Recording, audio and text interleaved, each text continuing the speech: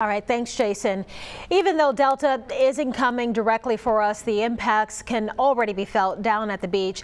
Our Baldwin County reporter Michael Warwick live in Gulf Shores. Michael, the surf is kicking up out there. How are people reacting to this storm?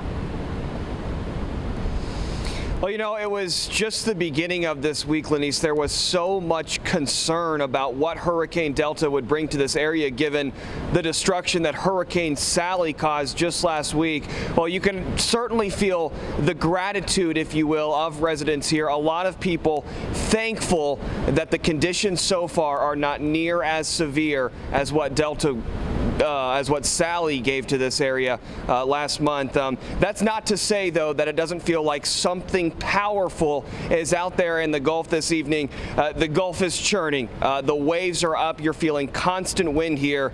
Uh, the waves really are only going to gain strength as we go throughout the evening prompting lifeguards to raise red flags for a very high rip current risk. These conditions alone have residents thankful but thinking of our neighbors west. When you have a hurricane coming through, it's wide. Yeah, my prayers are with you guys down there in Louisiana, and uh, it seems like once a year you guys get slammed by something, and uh, hopefully you'll pull it together and survive this one.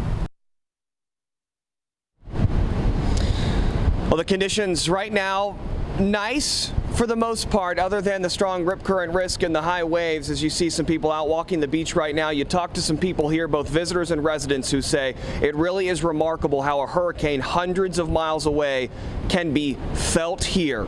Though a lot of gratitude tonight that it isn't closer. Live in Gulf Shores, Michael Warwick, Fox 10 News.